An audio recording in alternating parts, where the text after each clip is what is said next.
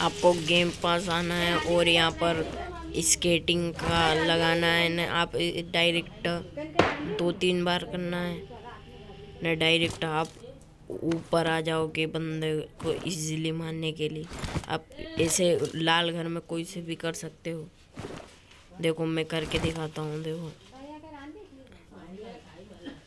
ये देखो, ये देखो मैं ऊपर की साइड आ गया नहीं हाँ इसीलिए आप कोई से बंदे को भी ऊपर मार सकते हो। फिर यहाँ पर ये देखिए।